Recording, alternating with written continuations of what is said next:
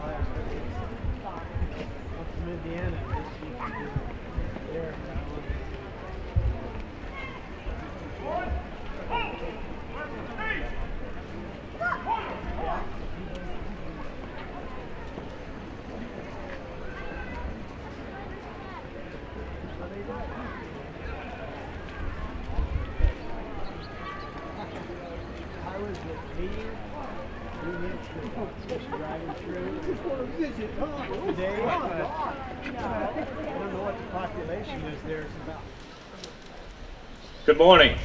Morning. Morning. Uh, finally, nice to see everybody. Uh, thank you for attending. First of all, I'd like to apologize uh, between the lack of miscommunication on my part. We didn't have the uh, marching band, so well, we will have them on Veterans Day. So, on this day is sacred, with the almost visible presence of those who gave have gone before us. We honor the memory of those who gave their lives in the service of our country, and for those others who have dropped their, dropped their burdens by the wayside of life, and are gone to eternal rest. May the ceremonies of today deepen our reverence for our departed friends and comrades. Let us renew our pledge for loyalty to our country and its flag, Let us resolve by word and deed and emphasize the pledge of duty and patriotism have an opening prayer.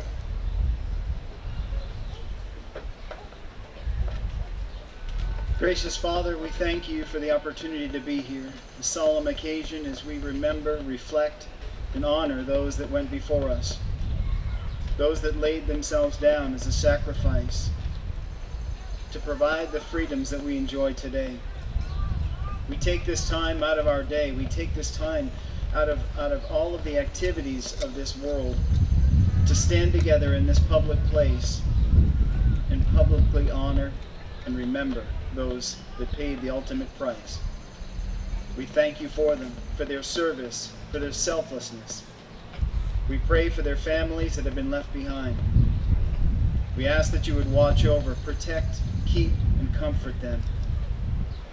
And that you would help us to live lives that are honoring to the sacrifice that was made. Thank you for this great country, for our leaders, for our military. We ask that you would protect and watch over them. For these things I thank you in Jesus' name. Amen.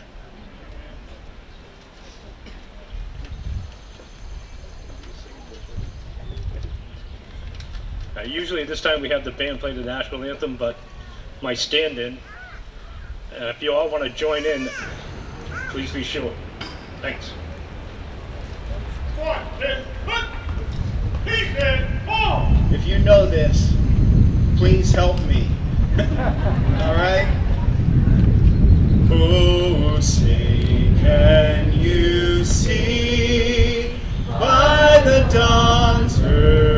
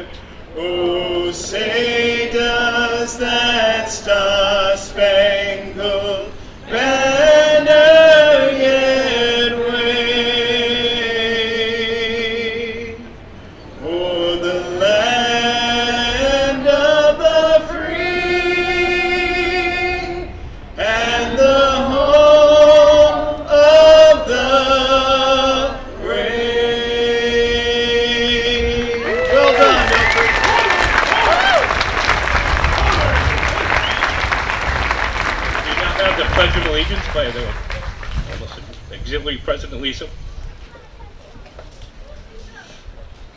I pledge allegiance to the flag of the United States of America and to the republic for which it stands, one nation, under God, indivisible, with liberty and justice for all.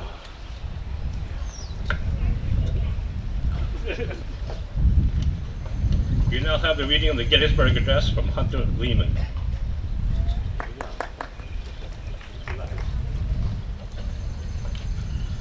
Four score and seven years ago, our fathers brought forth on this continent a new nation, conceived in liberty and dedicated to the proposition that all men are created equal. Now we are engaged in a great civil war, testing whether that nation, or any nation so conceived and so dedicated, can long endure. We are met on a great battlefield of that war. We have come to dedicate a portion of that field as a final resting place for those who here gave their lives that that nation might live. It is altogether fitting and proper that we should do this. But, in a larger sense, we cannot dedicate, we cannot consecrate, we cannot hallow this ground. The brave men, living and dead, who struggled here have consecrated it far above our poor power to add or detract. The world will little note nor long remember what we say here, but it can never forget what they did here. It is for us, the living, rather to be dedicated here to the unfinished work of which they they they who fought here have thus far so nobly advanced. It is rather for us to be here dedicated to the great task remaining before us.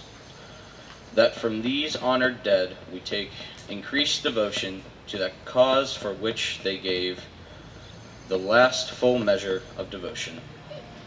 That we that we here highly resolve that these dead shall not have died in vain, that this nation under God shall have a new birth of freedom that the government of the people, by the people, for the people, shall not perish from this earth. Yahoo! Nice job.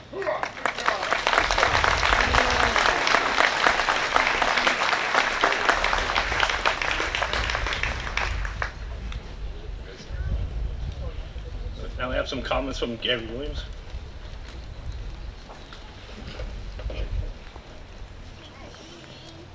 Welcome.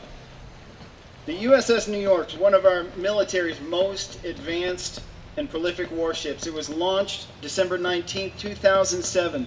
It's an amazing vessel. The thing that makes it amazing is it is it was constructed with 45 tons of steel from the World Trade Center 2001.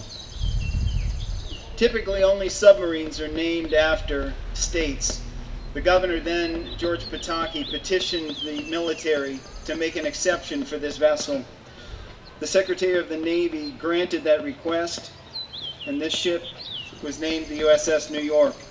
It carries a crew of 360 sailors and 700 combat-ready Marines. They're ready to be deployed by helicopter, by assault craft. The steel from that World Trade Center was melted down in a foundry in Amite, Louisiana.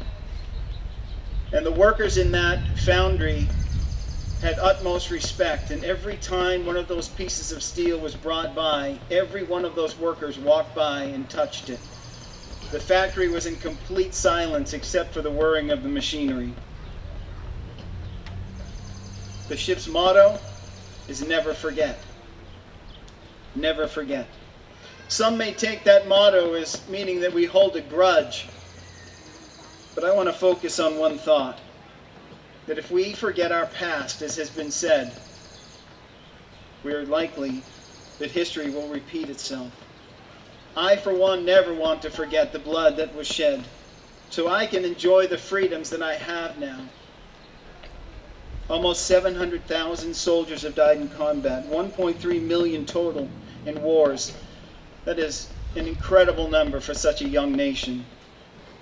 I never want to forget those that have lost sons and daughters, husbands, mothers, fathers, for the freedom that we enjoy this morning. And there are many that may say, well, what freedom? Coming out of 2020, probably one of the worst years in, in our recent memory. Sure, our country is far from perfect. We're declining in morality every day. We have a never-ending list of faults and failures in our nation. But instead of focusing on what's wrong, let's take a moment and be thankful for what we have and remember why we have it. In the midst of all of the wickedness and unethical politics and violence and our foundations being attacked, we still have freedom. We still have the blessing this morning that millions of people around this world don't have. We're able to freely gather in this place this morning. We're able to worship. We can run our own businesses, own our own property, freely travel. These things we often take for granted, but they were paid for with blood. Our flag stands for freedom, the freedom that we enjoy. It stands for those that have given their lives in sacrifice. It even stands so that some could say, I disagree. We are so blessed to have the capacity to remember. Even though it becomes more challenging the older we get. Memorial Day started many years ago, originally called Decoration, Decoration Day. In April 1863, in Columbus, Mississippi, after decorating the graves of her two sons,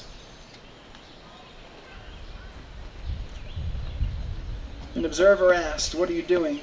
Those are the graves of two Union soldiers. Her reply was, I know. I also know that somewhere in the North a mother or a young wife mourns for them as we do for ours. This lady and a few others set in motion what became known as Memorial Day. We observe all kinds of days. We put days on the calendar. We set them apart to remember. We have traditions, Christmas and Easter, things that make them special. July 4th, September 11th. In the next couple of weeks, I'll be working and, and preparing for many memorial services for first responders and uh, public workers. And we'll be in Class A uniforms. You see many here in uniforms today. And even though none of the names that we have seen on these memorial stones, most of them we don't know. We didn't know. And they're names of people that can't hear us right now we set aside time to show the highest respect in this tradition of remembering them. I'm going to close with a story from Paul Harvey. Some of you older people may remember that name. Some of you younger are like, is that a rock group or? He said it was with gratitude that prompted an old man to visit an old broken pier on the eastern seacoast of Florida. Every Friday night until his death in 1973, he would return, walking slowly and slightly stooped with a large bucket of shrimp. The seagulls would flock to this old man and he would feed them from his bucket. Many years before, in October 1942, Captain Eddie Rickenbacker, one of the nation's most respected and dedicated pilots, was on a mission in a B-17 to deliver a top-secret message to General Douglas MacArthur in New Guinea. Somewhere over the South Pacific, the Flying Fortress had an instrument malfunction, causing the aircraft to become lost beyond the reach of radio. The plane eventually ran out of fuel, so the men ditched their plane in the ocean for 24 days, Captain Eddie and the seven other survivors would fight the water, weather, and the scorching sun. They spent many sleepless nights recoiling as giant sharks rammed their rafts. They stored and drank rainwater while Eddie took command and browbeat his men into keeping their spirits up. But of all their enemies at sea, one proved most formidable, starvation. Eight days out, their rations were long gone, or destroyed by the salt water. It would take a miracle to sustain them, and a miracle occurred. Something landed on my head. I knew that it was a seagull. I don't know how I knew, I just knew. Everyone else knew too. No one said a word. But peering out from under my hat brim, without moving my head, I could see the expression on their faces. They were staring at that gull, and that gull meant food, if I could catch it. The rest, they say, is history. Captain Eddie caught the gull and divided it among them. Parts were used for bait to catch fish. The military gave up the search after a little more than two weeks, but Eddie's wife persisted them to keep going a little longer. The men were found after 24 days floating on a raft, emaciated, dehydrated, sunburned, but alive. The survivors were sustained and their hopes were renewed because of a lone seagull, uncharacteristically hundreds of miles from land, offered itself as a sacrifice. Eddie never forgot, because every Friday evening, about sunset, on a lonely stretch along the eastern Florida seacoast, you could see an old man walking, white-haired, bushy-eyebrowed, slightly bent. His bucket was filled with shrimp to feed the gulls, to remember that one which on a long day past gave itself without a struggle just as Eddie Rickenbacker never forgot the gull that gave his life. We should never forget the soldiers of our country who gave their lives. Eddie got a second chance at life, and because many brave women have died in the armed services fighting for our country's freedom, we have a chance at life, the life of freedom.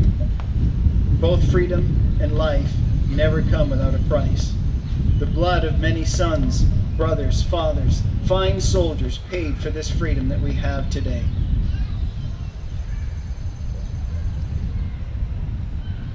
Our country's soldiers died so that we could have a life of freedom. This morning I'd like to close this time with a word of prayer if you would join me.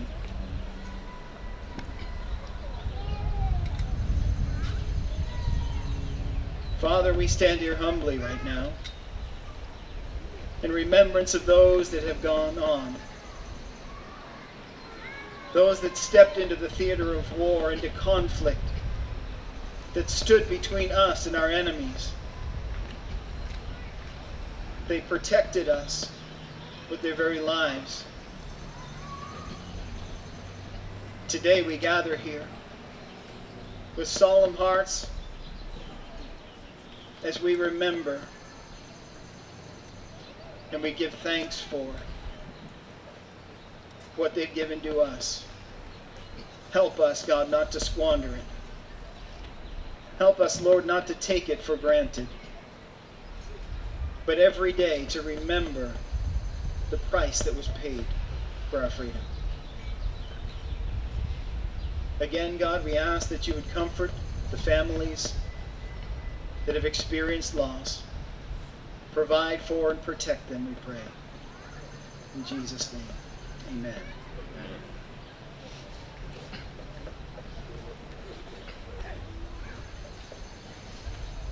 We will now have taps, and which will conclude our services.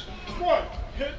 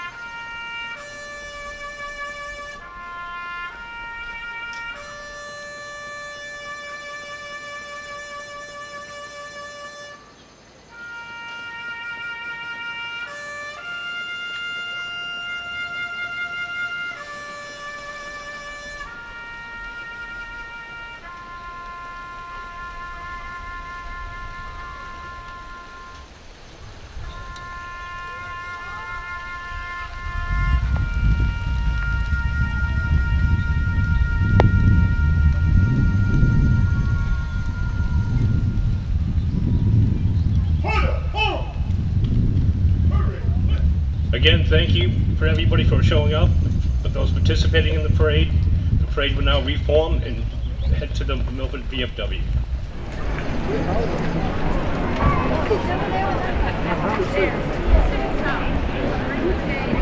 Well, normal years they might.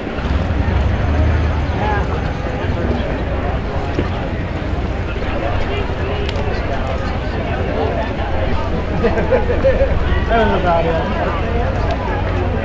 So, I don't know what's in there. You still have like the town hall, you have to get an appointment. I've, seen the meeting over there, and he's- Slickman, you know, what are you waiting for? And response well, maybe by the end of the summer we will review stuff.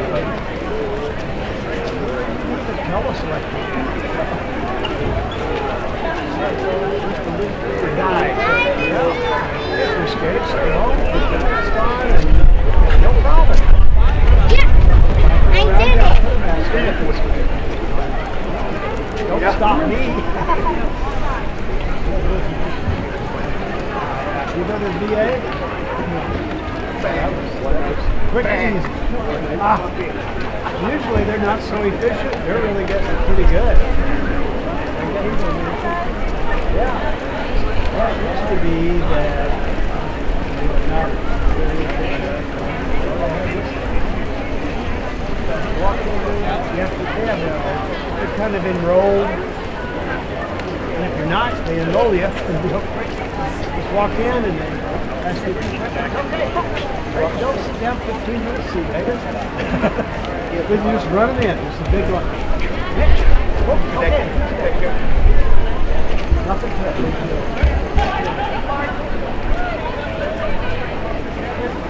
What do you do all the time? I got real estate.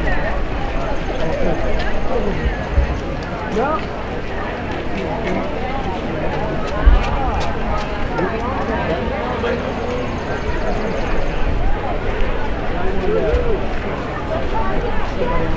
shooting. I don't know.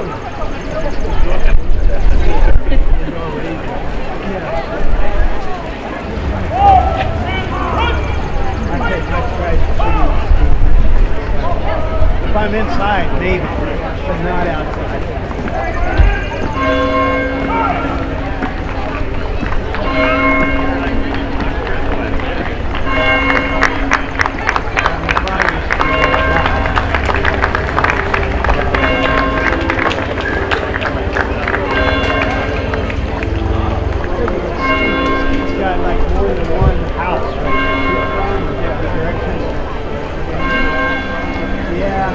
Thank you.